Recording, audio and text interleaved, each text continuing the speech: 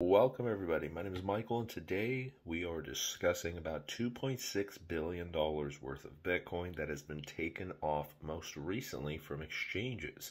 This amounts to over 61,000 Bitcoins and currently, the price of Bitcoin has risen. It is actually approaching steadfast $43,000.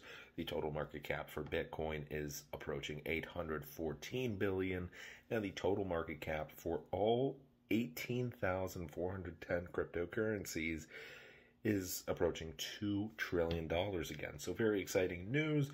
What does this mean when billions of dollars of cryptocurrency has been removed? It's pretty bullish sentiment.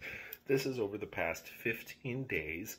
Whenever people remove Bitcoin from exchanges instead of selling, that means they're hodling onto it, which means it could lead to an all time high later this year. And with the recent spike, with Ethereum going over 3,000, with Bitcoin sticking steadfast above 40,000, 41, 42, 43 upcoming, we are very close to hitting some decent days where people are actually starting to believe in cryptocurrency again. Now, again, we are in a very, very volatile period where we could just as easily fall below $40,000, but every single day that we stay above it cements the fact that there is confidence in the market. The FUD has definitely changed. So if we look at the Bitcoin Greed Index, where usually everybody who's very fearful, we can see that a lot has changed. We're still not in the best of spots. We're at a 40 out of 100, but it's a lot better than yesterday at 31 and last week at 27 and last month at a 20. So 15 days prior to the time of this article being published, there was roughly 2.57 million Bitcoin, whereas the exchange wallets contained almost 2.51 million Bitcoin at the time of publication. So the same day that there was statistics published by another crypto analytics business.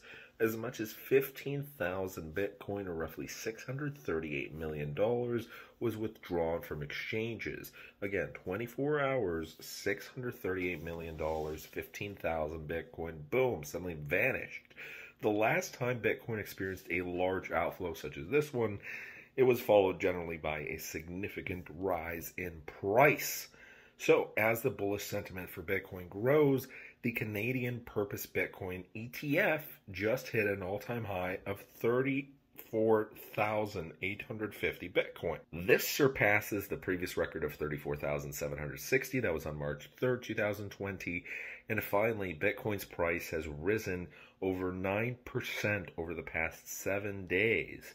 We were not too long ago at $38,000, $39,000. This is extremely bullish, especially in this short period of time. Now, currently, over the past 24 hours, Bitcoin, and boom, we are literally $30 away from 43,000 now. Bitcoin has risen over 2.4% over the past 24 hours. Not a lot, but when we're looking at a price tag of almost $43,000, it certainly is enough to inspire people again. So let's get ready. So the longer we stay above $40,000, the better it is going to be. Also, huge, huge news. Crypto.com has sponsored the FIFA World Cup. But more on that later in the week. So thanks so much for watching. Have a great one. Peace.